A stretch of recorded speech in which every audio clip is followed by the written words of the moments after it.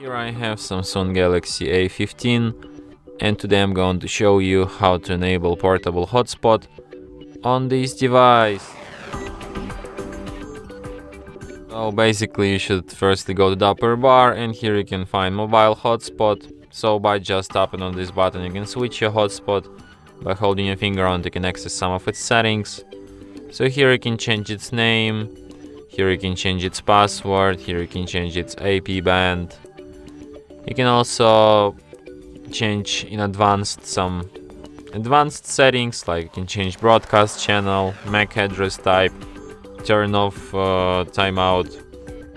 You can set your network to be hidden, protect management frames, enable Wi-Fi sharing.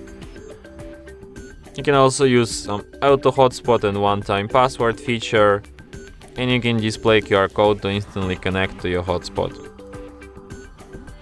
So yeah, and that's it.